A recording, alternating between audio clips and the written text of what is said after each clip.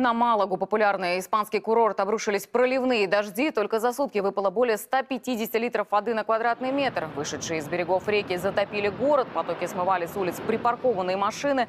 На дорогах оползни, многометровые провалы, в которые влетали автомобили. На побережье разрушены уличные кафе. В домах затоплены первые этажи и подвалы. Кроме того, ураганный ветер повалил сотни деревьев.